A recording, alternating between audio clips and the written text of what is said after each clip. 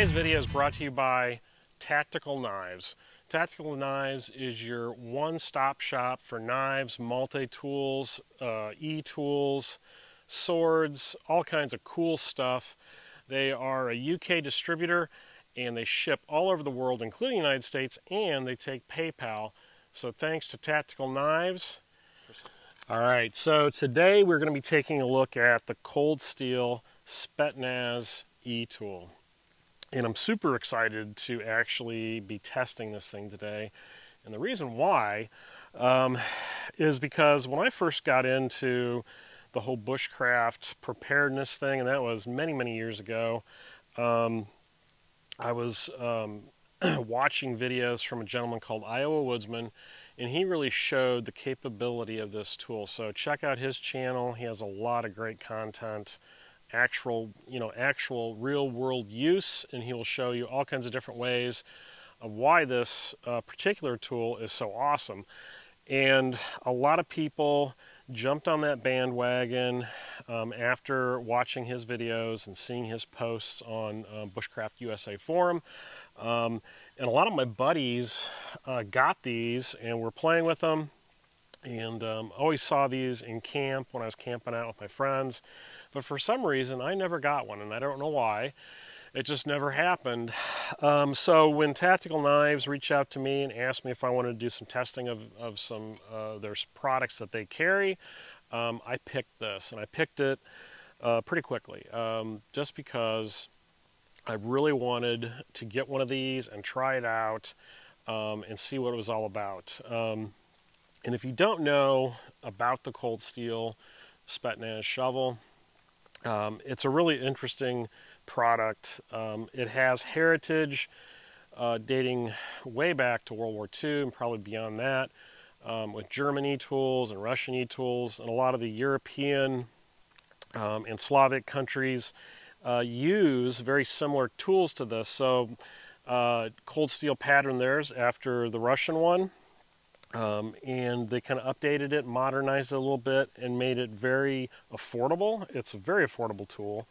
Um, and it's just awesome uh, what they've done with it because it's so simple in its design.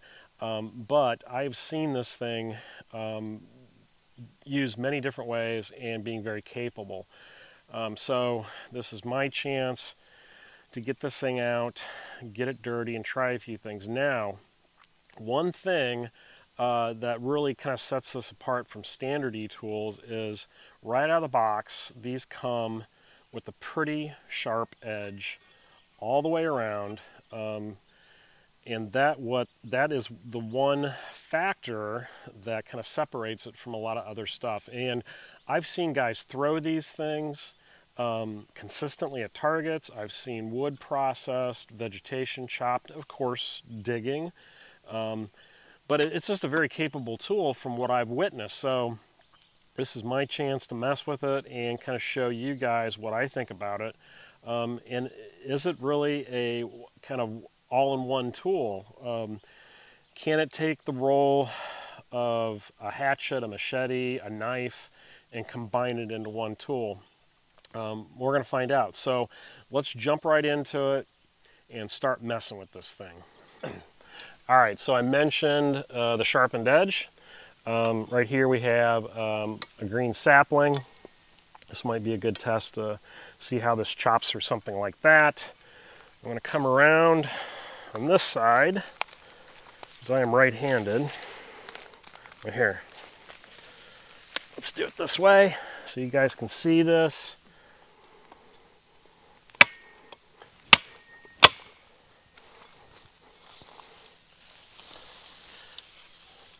So what was that, a couple chops?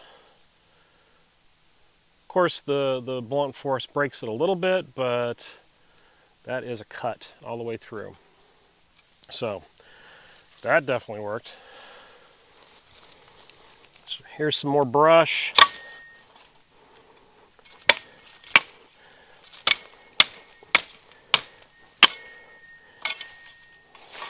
Hack right through that, no issue. Now let's find some dry wood and see what we can do with that. All right, here's some dry wood that I found.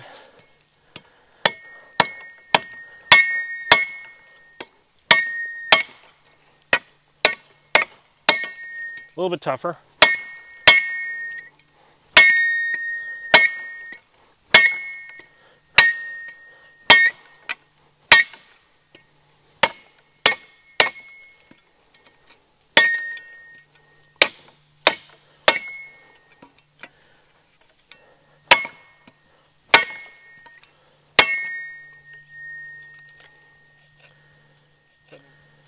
Putting a nice chunk out of it certainly not cutting as um, quickly as a hatchet would, or even maybe a machete. That's definitely dry, seasoned hardwood. Keep going here.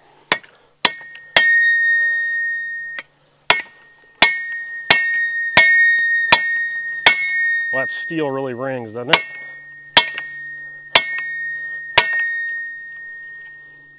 take this branch off. Make that a little bit more manageable.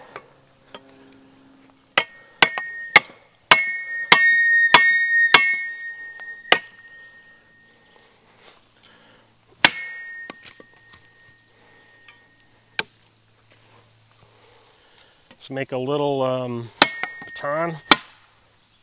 Well, look how that just sunk in there. Nice.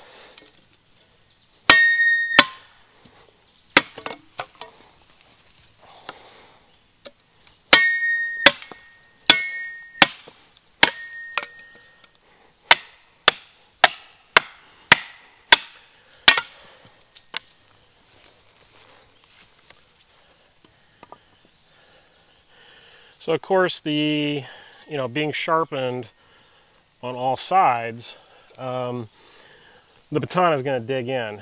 Um, so that makes it a little less effective for batoning into wood, um, but it's doable.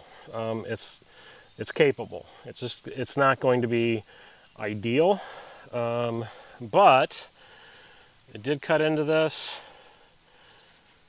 and break it into some smaller pieces, and that's what you want. So now, let's see.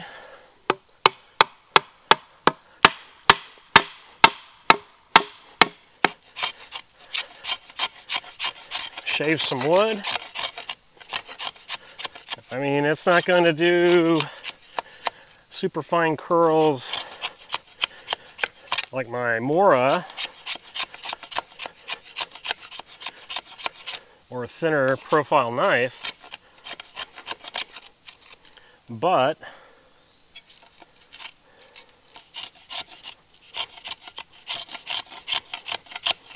can get some chips and some beefy curls off of it. It's not bad.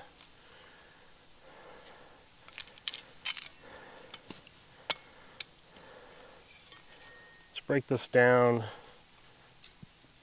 just a little bit more.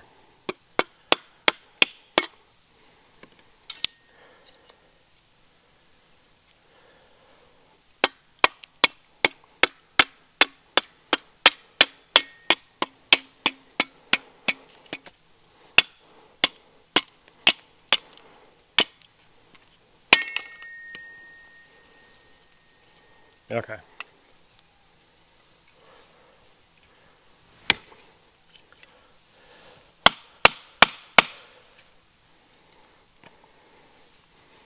So now I got more of an edge to work with.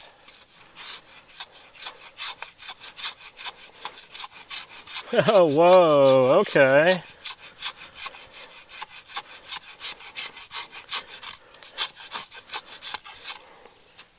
That's kind of impressive. How about that? Do enough of those. You've got um, good tinder to get a fire going. Those are nice little curls.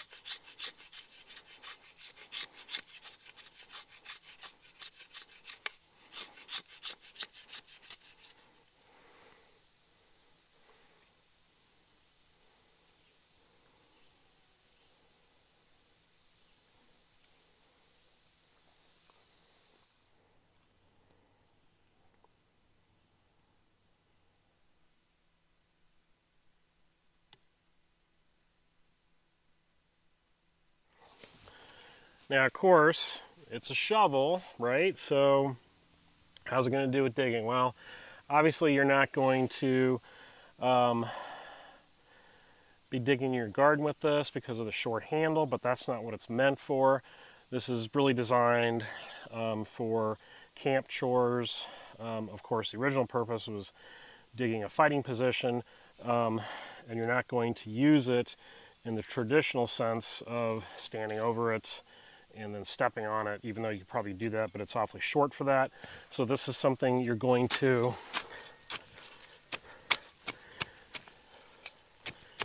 break up the soil.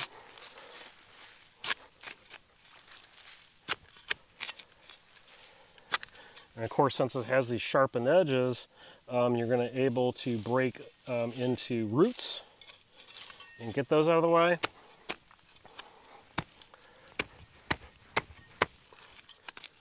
I think you can see the roots right here. There's one right there.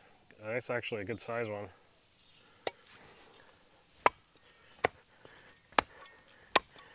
Now the handle, pretty comfortable. I mean, it's got the nice kind of bulbous end to it, so it gives you something to grip onto. It's uh, not too narrow, so you got a good, good grip on it. cut through this big root.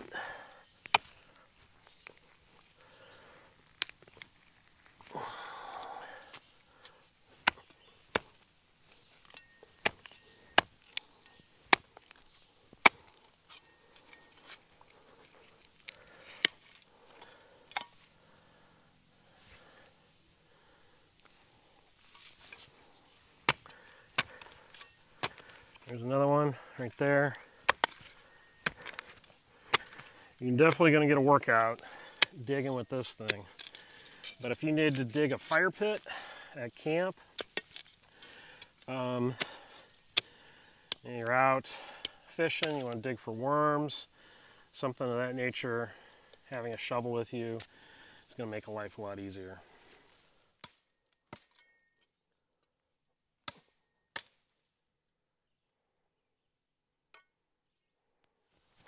Whew. It's hot. Hot and humid. Welcome to Ohio. It's green hell out here. Um, so a couple of things on the shovel. Um, what's great about cold steel products, um, besides just being very well made, they're very customizable. So you kind of make it your own. I know a lot of guys will get these shovels, they'll sharpen the edges up even more or maybe sharpen one edge to a nice fine point um, or fine edge. And then another thing that a lot of guys do, and I really agree with this, and it's something I'm going to do with this one, and I'll do a video on it. I want to strip this lacquer finish on it. Um, it's a little slick right out of the box.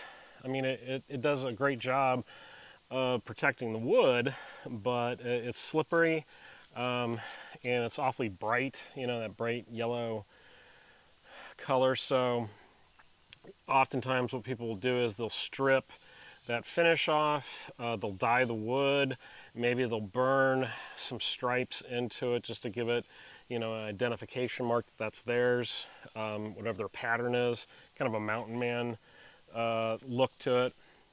Um, you know, wrapping it sometimes in uh, hockey grip tape is another great uh, way to customize it and give it some more grip. Um, I would definitely wear gloves. Should have wore gloves. That would definitely help with the grip on it and then helps, you know, just uh, protect your hands when you're working with tools. Um, but now this is the edge that I use primarily for the cutting and for the shaving of the wood and it's I don't know maybe just a little bit duller than this edge so with something like this you could easily sharpen this with a stone, a file, um, a puck would be a great option for this because you'd be able just to run that over that edge all the way around and you know keeping a puck with this would be a great option. Um, it, you know, it's definitely um, useful. It's, definitely useful. I mean, it, it, really showed its capabilities as a cutting tool. Um, and, you know, I'm not going to be digging a lot of deep stuff, but campfires, uh, camp, you know, Dakota fire holes, things like that, of that nature, uh, having something like this is, uh, is great. And it's so much better than the old folding military E-tool because those folding points um, are weak points. Um, this gives you a handle that is replaceable. See that? You've got um, screws in the side, so you can take those out with your with your Leatherman. Pop this out, and then if you had to fashion um, a handle in the field, um, you could do it. So this gives you some long-term capability. So this really does become a fantastic um, tool for prepping, um, going out and bug out bags, you know, survival kits, um, or just, you know, your standard camping bushcraft bag. Um, having something like this, and then I would pair this with uh, a Mora, a fine Scandi grind knife, so you can do some fine work. But this could definitely handle some of your larger chopping um, needs, and you can dig with it. And that's the that's what separates it from a hatchet or an axe, you know, you're stuck, um, which is what that tool does. You can't dig with it, you don't want to. Um, but this, you could do that. And then, you know, if you really want to get into processing wood, of course, um, a good sized silky saw uh, combined with this, and you've really got um, an awesome mix of tools that are very capable and going to do probably everything you need. All right, guys, the skeeter bugs are getting pretty bad, and the humidity and the heat is not fun. Um, but I wanted to do some quick testing and show this thing to you guys. Um, thank you to Tactical Knives for shipping this out to me. Like I said before, they are a UK-based uh, uh, retailer. Uh, they ship all over the world um, and to the United States. They take PayPal, um, which is always a, a great option. Um, very nice people talked to them several times and they really want to help support the channel. They like the content and I think it's a great partnership. So check out the link down below for them.